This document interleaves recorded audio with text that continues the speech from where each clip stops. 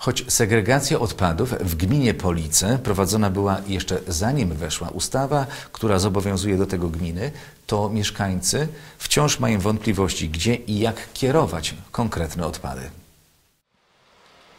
Segregację wiele osób rozpoczyna w domu. W teorii wydaje się ona prosta. Plastik i szkło gdzie indziej, papiery gdzie indziej. Tak wygląda teoria. W praktyce okazuje się, że są takie odpady, których finalne miejsce nie do końca jest oczywiste. Najwięcej trudności sprawiają odpady bio.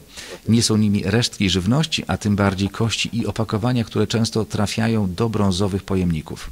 No jest woreczek, do woreczka się wsypuje i, i raz na jakiś czas się wyrzuca do tego kontenera, który jest, stoi przed śmietnikami. A jak pan wyrzuca to w woreczku czy bez? No w woreczku wyrzucam, chyba nie, nie powinienem, nie? A są te e, pojemniki brązowe i w te pojemniki wkładam. Z woreczkiem czy pani wysypuje? Z woreczkiem. Powinnam wysypywać, wiem. Te pojemniki są chyba nieprzystosowane do tego. No, trzeba z woreczku wypróżnić, woreczkę osobno znowu i tak i tak w koło. No, w zasadzie u nas przy zametkowaniu nie ma tych specjalnie kłopotów. No. Yy, najgorzej jest z tymi śmieciami bio, tak? Bo one nie są nigdzie składowane, one po prostu wrzuca się do sypu i po wszystkim. Wrzucanie woreczków do odpadów bio niweczy pracę innych, którzy wyrzucają je prawidłowo. I mimo, że są w brązowym pojemniku, to z plastikowymi torbami traktowane są jako odpad zmieszany. Są też inne odpady, które sprawiają problem, na przykład kartony po mleku i sokach czy puszki aluminiowe. O właśnie, z tym jest największy problem. No kartony po sokach, a no niestety wyrzucam do papieru, bo nie wiem co mam z tym zrobić. No i puszki właśnie to jest problem, bo gdzie je włożyć? Wkładam je do śmieci normalnie.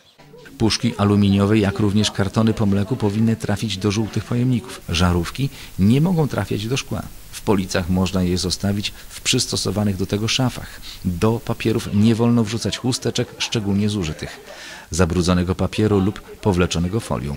Taka edukacja po prostu się opłaca, nawet w Szczecinie.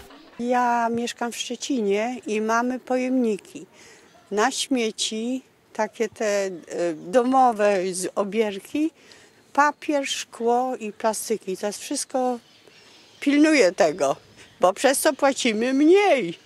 Policzenie segregują odpady y, w większości prawidłowo, ale są takie, z którymi jest problem. W razie wątpliwości warto zajrzeć do jakiejś ściągi. Dla mieszkańców gminy Police przede wszystkim otwarte są nieodpłatne punkty, gdzie można zostawić odpady, takie jak Przok przy ulicy Tanowskiej.